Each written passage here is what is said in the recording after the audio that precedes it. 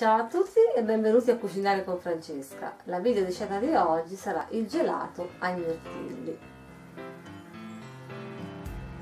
Per preparare il gelato ai mirtilli occorrono 300 g di mirtilli, 100 ml di panna, 400 ml di latte, 4 cucchiai di zucchero. Per prima cosa mettiamo i mirtilli nel recipiente dopo averli ben lavati. E aggiungiamo il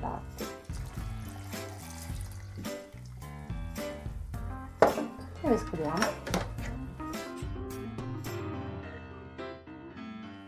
a questo punto aggiungiamo la panna.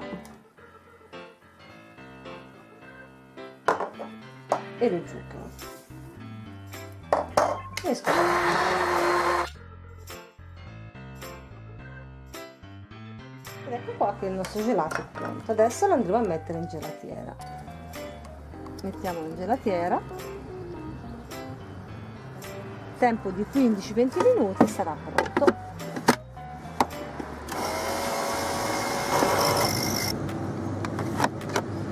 Ed ecco qua che dopo 20 minuti il nostro gelato è pronto.